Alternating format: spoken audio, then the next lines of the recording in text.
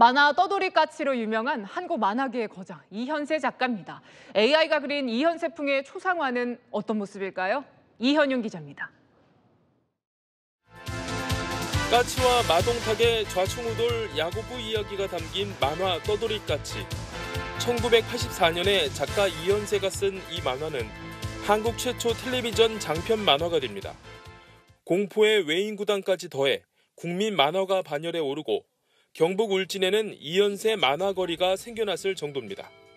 이연세 만화가 이제 AI로 무한히 재탄생됩니다. AI가 그려주는 이연세 스타일의 초상화를 직접 체험해 보겠습니다. AI 로봇이 제 얼굴을 찍고 분석을 시작합니다.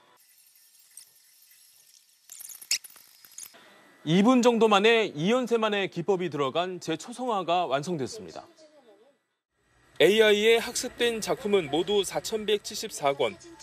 손만 대면 이연세풍의 그림이 나와 수천 명의 보조 작가가 생긴 셈입니다.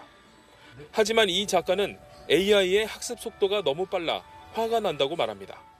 화가 나죠. 나이가 든다는 게요. 인공지능은 그렇지가 않잖아요. 365일 24시간 계속 작업을 해도 그 친구는 끄떡 없는데 그러면서 결국 어떤 이야기를 넣을 것인지 사고하는 것은 결국 작가의 몫이라고 강조합니다.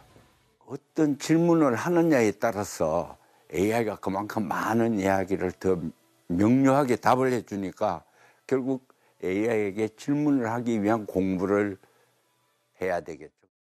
또 연말쯤에는 이연세 만화 리메이크가 가능하도록 현재 AI 학습 프로젝트 작업이 한창입니다.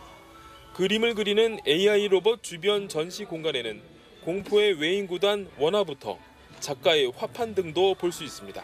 채널A 뉴스 이현용입니다.